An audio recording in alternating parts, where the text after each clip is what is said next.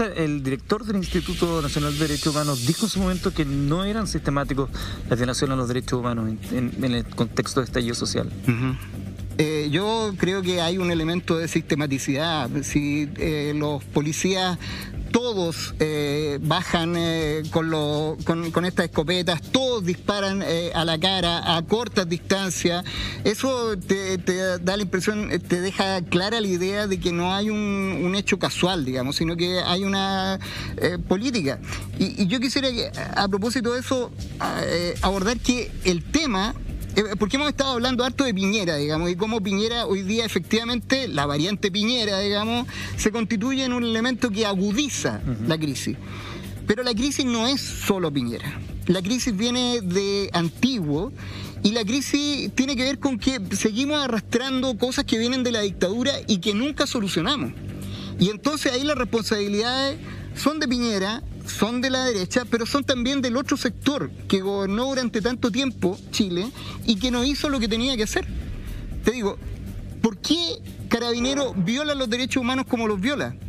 Porque sigue siendo la policía de la dictadura, porque sigue rindiendo culto al golpismo y porque nunca los gobiernos democráticos que ejercieron el poder después de la dictadura quisieron reeducar a esa policía, disciplinarla y generar una nueva cultura de derechos humanos.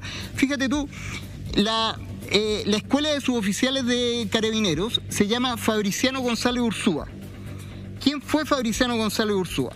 Fue un policía que muere el 11 de septiembre de 1973 perpetrando el golpe de Estado, porque dar un golpe de Estado es un delito. Lo que pasa es que cuando ganan nadie lo juzga, digamos, pero es un delito.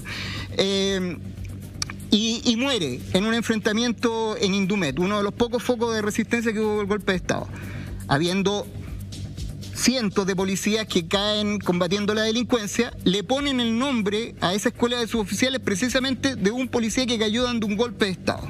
Y por lo tanto, todas las generaciones de policías que se van formando, se van formando mirando a ese caso y diciendo, nosotros somos de ese bando. Y estamos, nuestros enemigos son los otros son otra parte de Chile. Nosotros le pedimos a la presidenta Bachelet, cuando estaba en el poder, que le cambiara el nombre a la escuela de suboficiales, que le pusiera el de cualquier policía que había caído combatiendo la delincuencia y no que... hartos mártires de la institución. No quiso, nos respondieron específicamente diciendo que no. En la Armada le pedimos que sacara la estatua de Merino en el Museo Marítimo. no quiso sacarla. Yo no logro entender eso, porque finalmente es como está de cajón, ¿no? Que cambiado el escenario se da como para hacer. nadie podría decir que no, y si la institución dice que no, no son deliberantes, es lo que se hace, es lo que manda el poder político. Sin embargo, no se hace. ¿Qué hay ahí? Hay temor, es mejor nos movamos la jaula, es un acomodo, es como no nos compremos un problema. ¿Qué hay detrás de todo eso? ¿Qué creen ustedes que hay detrás de eso que, si lo extrapolamos a muchas otras circunstancias, uno dice, claro, con razón la caldera se fue calentando. Día, solo un paréntesis, semanas allá atrás estuvo con nosotros acá eh, Lenín Guardia.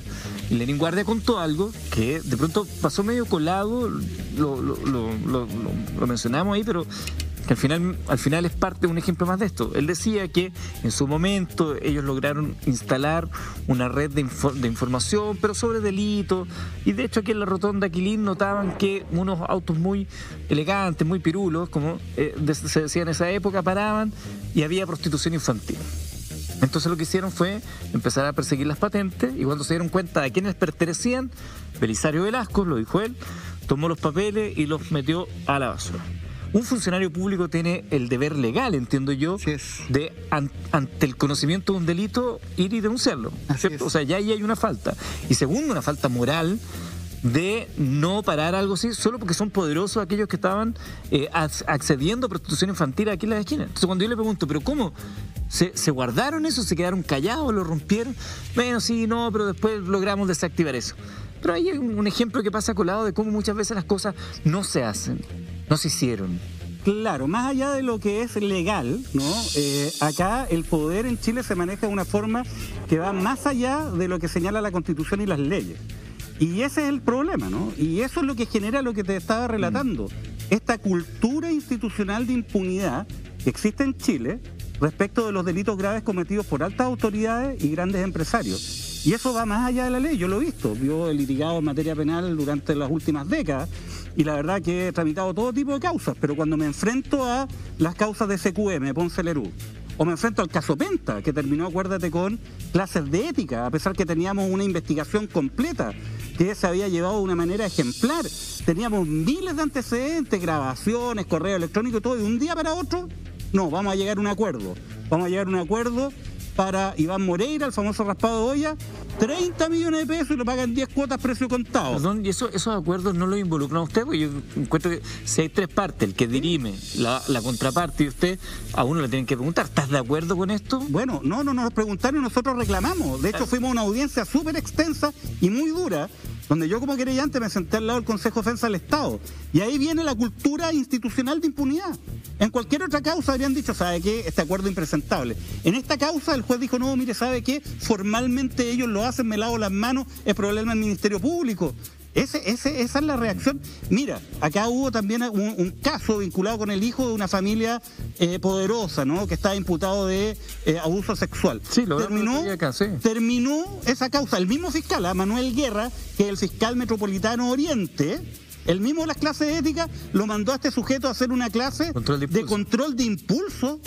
O sea, ¿qué estamos hablando? Anda tú a pedir una clase de control de impulso si estás defendiendo a alguien por violación o abuso sexual que es común y corriente. Entonces, en el caso de un primo de esa persona fue lo mismo, que había un primo acusado de abuso de una menor y también se llegó a un acuerdo. Bueno, claro, pero como te digo, ese es el problema. Ahora, la gracia, volviendo un poquito al tema que es trascendente, porque hemos visto todo este tema, nos hemos reído un poco con el Banco de Talca, a pesar que es tragicómico ya derechamente, pero lo que no es tragicómico y que es grave, serio, y que va a superar esta lógica de esta cultura institucional de impunidad, son los crímenes de lesa humanidad. Porque Chile suscribió el año 2009 se ratificó en Chile el Estatuto de Roma, se dictó una ley especial, la 20.357, que establece estos delitos y además, como, bueno, como decía Luis Mariano, estos delitos no, ya, hay tortura, sí, hay, hay, digamos, mutilación, sí. Pero no son simples mutilaciones y simple tortura. Esto es parte de un ataque generalizado a la población civil por parte de agentes del Estado, que son generalizados y sistemáticos además. Acá hay un patrón de conducta. Nadie me va a decir de que no son sistemáticos. Si fíjate, tenemos más de 480 personas que sufrieron mutilaciones oculares en todo el país durante varias semanas, producto de una misma acción de carabineros que se concretó en distintos puntos del país. Eso es un patrón de conducta, eso es sistemático Ahora, y tienes que responder. Entendiendo que el estándar probatorio, como decía Luis, no sé si lo estoy diciendo bien en términos legales, ¿no? Pero se, se entiende el concepto. Es alto, es difícil. ¿Qué escenario podría existir una vez que Sebastián Piñera deje de ser presidente de la República? O no sé si antes, no sé. Pero podría eh, enfrentar tribunales internacionales eventualmente, podría eh, ir a prisión eventualmente. ¿Qué, qué, cuáles son las, posibilidades que ofrece desde lo que abogados como ustedes están reclamando ante la justicia por su responsabilidad en estos hechos que son crímenes de lesa humanidad, violaciones a los derechos humanos, que dicho sea de paso, solo lo ejercen agentes del Estado, no al revés. Sí, yo creo que es perfectamente factible que la responsabilidad penal de Sebastián Piñera eh, sea perseguida nacional o internacionalmente, porque efectivamente son crímenes, son violaciones a los derechos humanos y él tiene una responsabilidad innegable.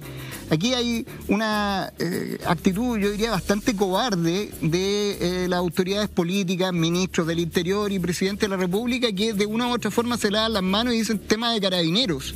No, carabineros está bajo las órdenes del gobierno.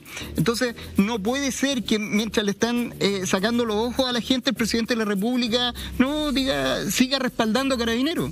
Ahí está la responsabilidad fundamentalmente, que cuando esas violaciones masivas se estaban cometiendo, el presidente de la República y sus ministros respaldaban sistemáticamente también a esa fuerza pública que estaba violando los derechos humanos y por lo tanto ahí tienen una innegable responsabilidad. Es cierto que en Chile estamos viviendo una cultura de impunidad aún, pero yo creo que eso comienza a cambiar.